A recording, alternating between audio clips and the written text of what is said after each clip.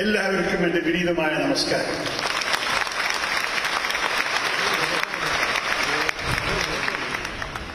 It's wonderful to see a hall full of such remarkable young minds, and I'm delighted that so many of you are being honored today by the 60 schools which you have graced with your excellence, and your achievements are today the focus of all of us in this institution.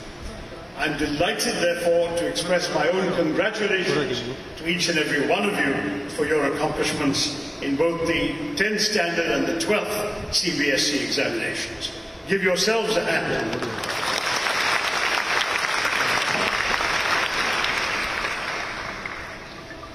You'll be getting some awards this morning, and I think that all the qualities that our President has already mentioned your application, your hard work, your focus, your diligence, and the enabling environment provided to you by your schools. All of those are being recognized in these achievements. There is one thing that I hope will not follow, and that is complacency. An academic award is a matter of great pride, but it is not an occasion to rest on your laurels. Your accomplishments today are but one step in a journey you must continue to undertake. If you ask me for how long, the answer is for a very long time indeed. I'm probably older than many of your parents, young students, and I still haven't stopped learning. I think if you will approach life with the belief that every single day ahead of you is an opportunity to learn, and that each day imparts some new knowledge, some new insight, some new word, some new idea, some new learning, then you will embrace that and you will learn throughout the rest of your lives. And I urge you to do that because I've always believed that the human mind is rather like a parachute. It functions best when it is open. Just as you don't want to jump off a plane with a closed parachute,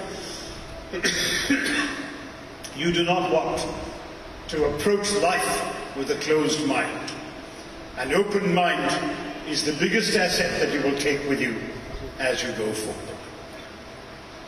You've all done very well in your examinations because examinations are the yardstick by which your excellence has been gauged. But that's another reason to avoid complacency.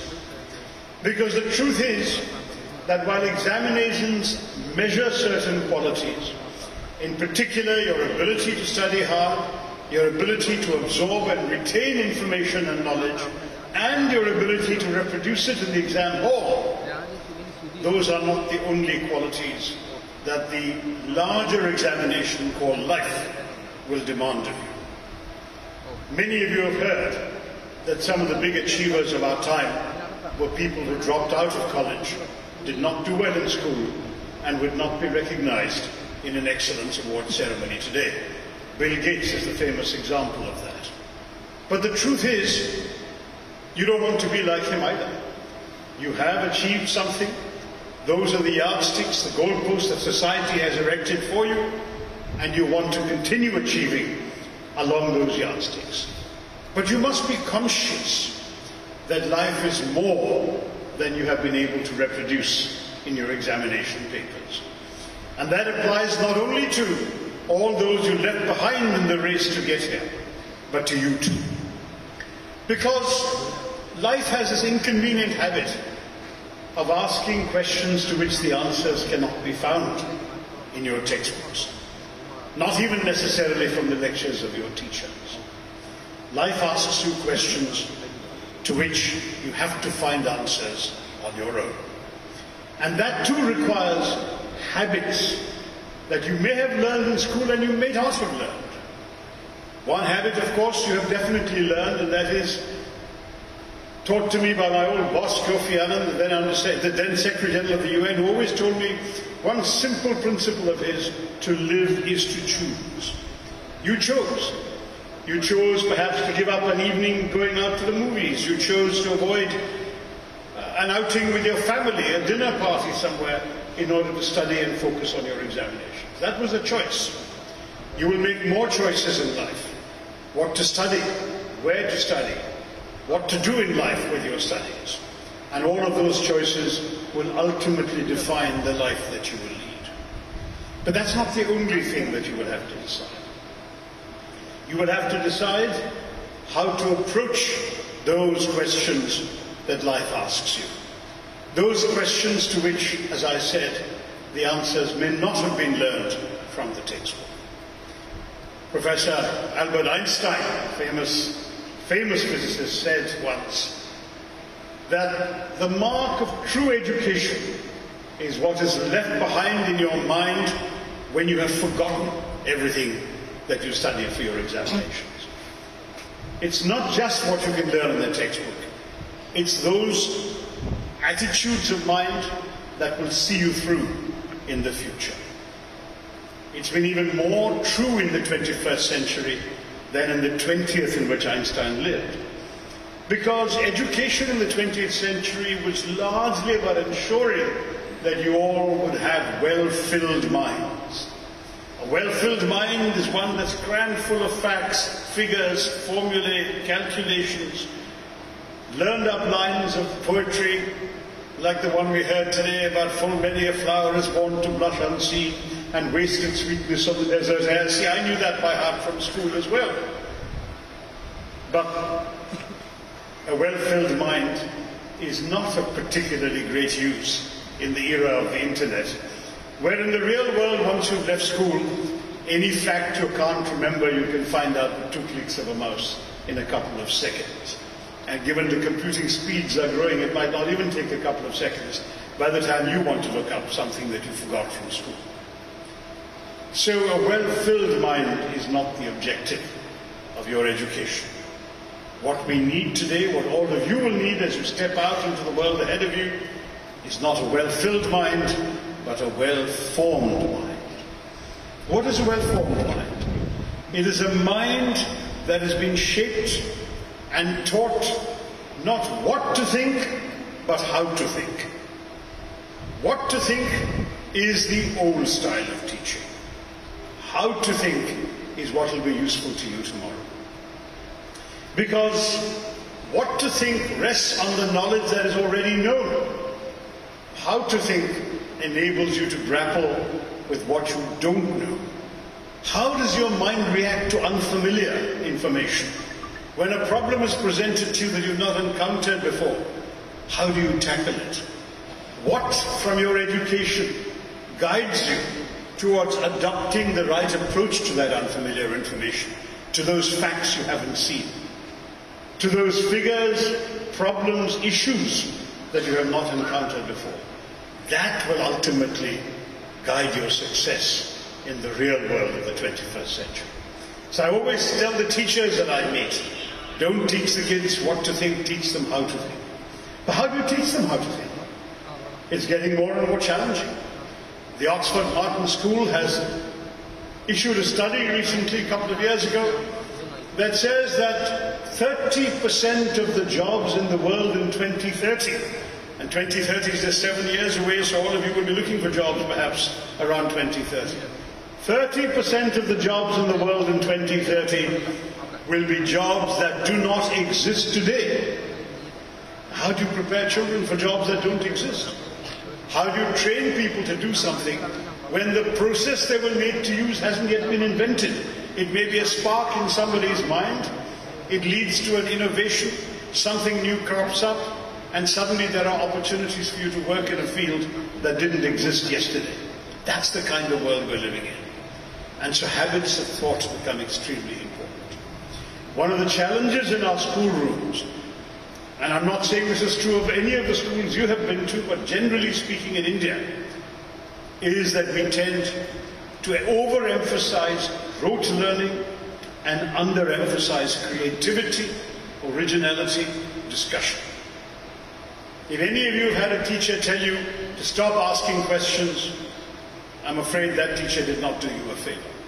You should ask questions. And what is more, you should not just ask why something is the way it is, which the teacher can tell you from the textbooks. You also need to ask why not? Why can't it be some other way? Why is it that something has to happen this way? You know, when we lit that lamp, Why is it that the ritual of lighting the lamp, which we do in every function in Kerala, starts with the easternmost week and goes around in a circle? I'm sure some of you know the answer, but there is a reason, and it's a scientific reason. The lighting of the lamp is meant to mimic the sun rising in the east and circling the globe. That is why we light the lamp going around the surface of the lamp. So the point is that you need to be able to do that. But you can also ask a teacher, why can't we do it the other way? Why can't we start somewhere else in the back? Why can't we skip a few weeks? Why can't, why do we have to do it this way? And the teacher can give you an answer. This is the logic on which it is founded. You can't do anything about the way the sun behaves. The sun always rises in the east. It always goes around the planet. The globe is the earth is spinning and turning around the sun. And that's why it's that way. So you can't change that. Fair enough. But once in a while you can ask, why not? I'll give you an example. Perhaps some of you, if you've had the habit of wasting time on YouTube, might have seen me giving this example before, but I'll give it again anyway on the assumption that the majority of you are too busy to waste time watching my old speakers on YouTube. And that is an example of why not kind of thinking. You may have heard Bill Gates saying, you must think out of the box. But what does the out of the box mean? Thinking inside the box is the conventional wisdom. It's what you've been taught, what you've been told. That's thinking inside the box. Thinking outside the box is imagining things that are not the way that you're being used to and that you've been taught. So some years ago, I was complaining to a friend that I was losing and breaking too many pairs of glasses. And he said, why? And I said, listen, I, I only need glasses about 5% of the day. I don't need it to read the names of the people on the podium today. I don't need it to even see the first few rows, but if I have to recognize a friend's daughter on the back row, I would need glasses. So how often do I need that kind of situation? Maybe once in a little while I would need glasses. So maybe 5% of my day. The rest of the time, I tend to park the glasses in a pocket, bang into a wall somewhere, they break, or I put them on a table, forget them, go away to the next event and then realize I don't have my glasses. Or, especially, I used to wear mundas more often than pants. There are no pockets in mundas, so I would leave my glasses on my lap and then I would get up to greet somebody, the glasses would fall to the floor, somebody would step on them, they would break. So to cut a long story short, in the first three months of that particular year, I had lost or broken six pairs of glasses. So the friend said, but why is this happening to you all the time? And I said, because for 150 years, glasses have only been made one way. They sit on your nose and they hang on your ears, and I find that uncomfortable. And that's why I don't like wearing them. So he said, oh, that's the problem. It's the why not problem. And he went away, and a few weeks later he came back with what I am now wearing around my neck. It doesn't rest on my nose, it doesn't hang on my ears, it doesn't bother me most of the time. But it's there, I don't have to put it in a pocket, I don't have to leave it on a table, I don't have to drop it on the floor. And when I do need to see somebody in the back of the hall, all I have to do is to lift it up and it clicks into place with two magnets in the middle and I can say hello to the girl in the back and take it off again. So the simple example of out of the box thinking. In other words, we know the functional purpose of glasses is to put a lens in front of your eyes. Is the only way you can do it the way it's always been done? And the correct answer is no. You can think of new ways of solving old problems. And that's the challenge all of you will face in the world into which you're going to go. But it gets even more complicated than that. There is a further problem that you must be prepared for. If 30% of the jobs in 2030 are the jobs that don't exist today, 30% of the jobs that exist today will also disappear. What happens to all of you if you enter a profession full of expectations, you take out a bank loan for a flat, you take out a bank loan for a car, and then the profession disappears? And I'm not talking in the air here.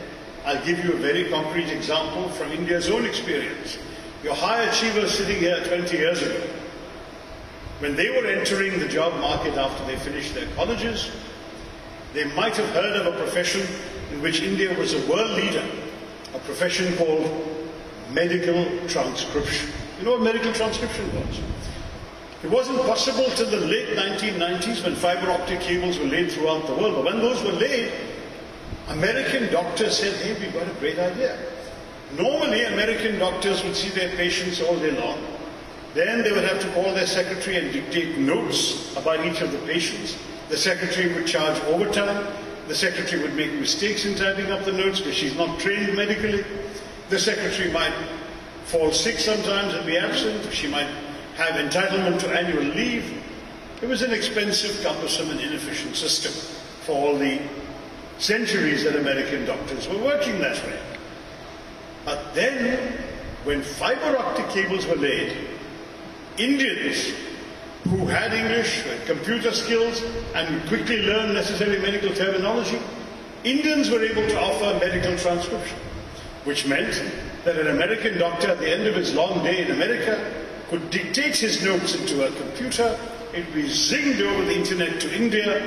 While he was going to sleep in America, Indians were waking up in the morning and typing up the notes zinging them back at the end of the day in India. So when he came to work the next morning, almost miraculously, all his notes were ready and available to him for consultation. Very few errors because of quality controls. The training offered by these medical uh, transcription companies was excellent on American regulations, American accents, American terminology. India became a world leader in this business. 95% of the global market was in India. Companies were mushrooming all over the place. I'm told in Chennai alone there were 25 companies doing nothing but medical transcription. And indeed, the young men and women who were joining those companies were taking out car loans and bank loans and, and, and mortgages, expecting that they would be doing this for a long time to come and they would be even better at it as time went by. But they were wrong. What they did not anticipate was the invention of voice recognition software and artificial intelligence which destroyed the business model completely. What's happening now is that for the purchase of one software one time, the American doctor has a software on his computer, he just speaks into it at the end of his day, and almost more miraculously than he had in the past, he sees his own words appearing on the screen instantly.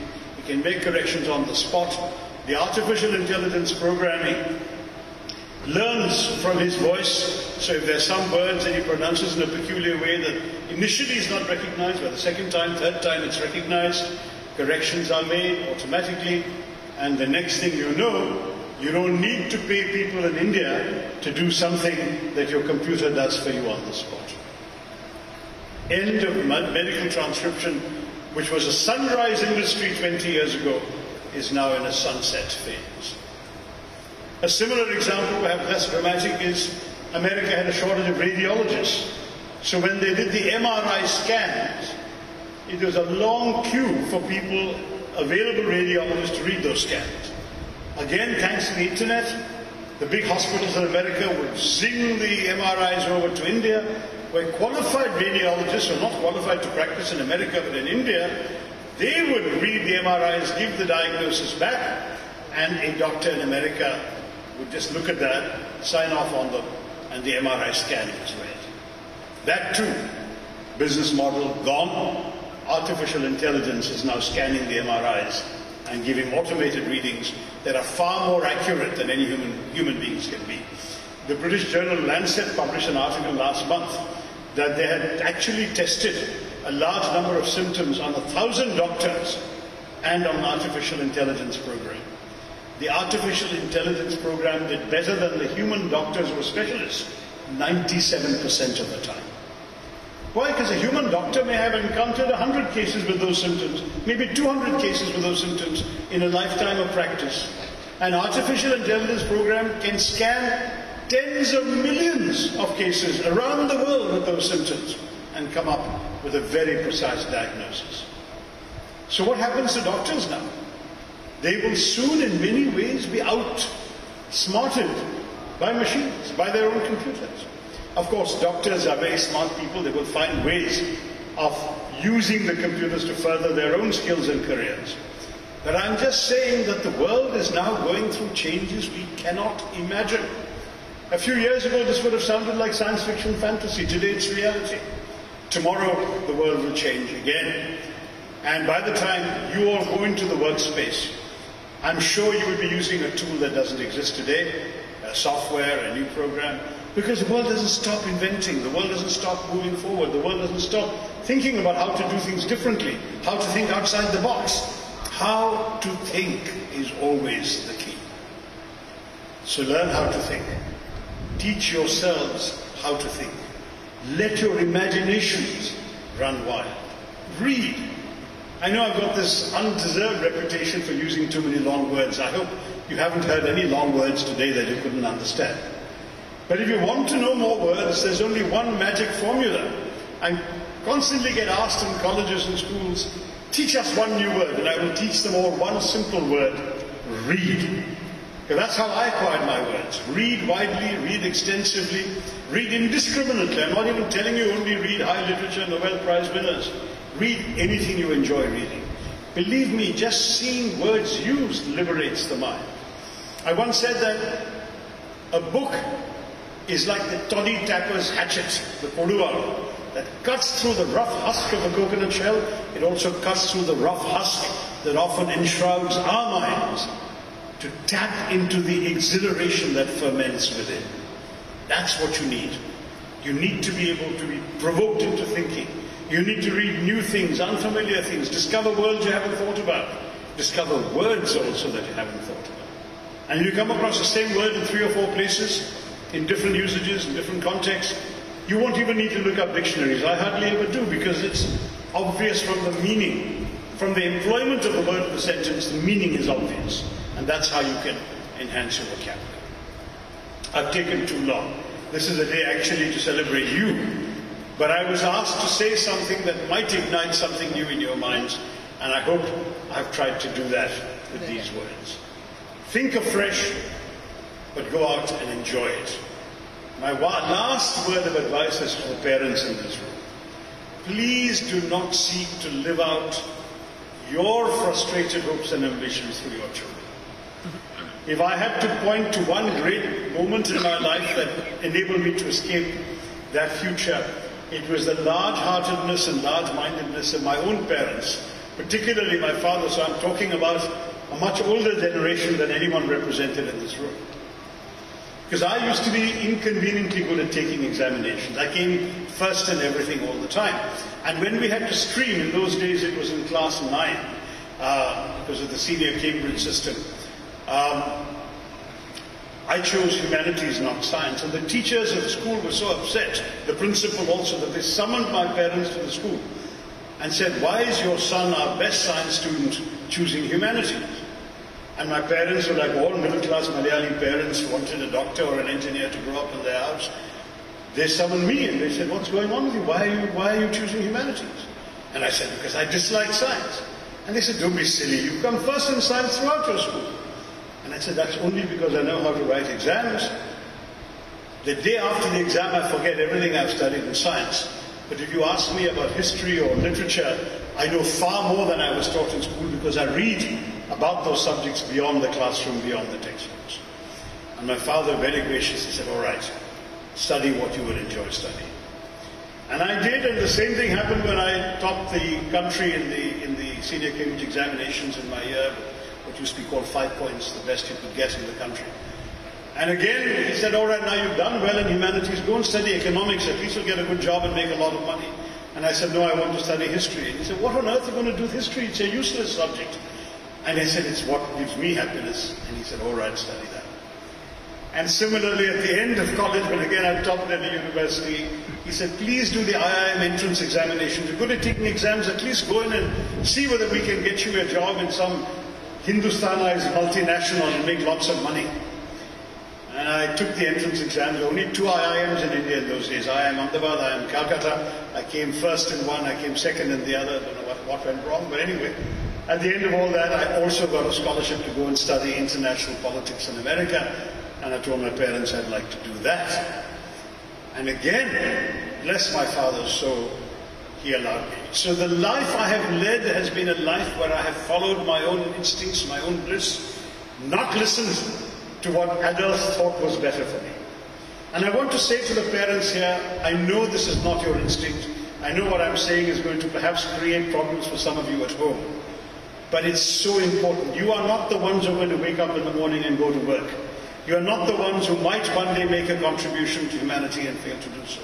You are not the ones who are going to live, live the happiness, the frustration, the challenges that your children are going to experience when they become your age. Let them follow their bliss. There was a cartoon I remember seeing of an Indian elephant talking to a baby elephant.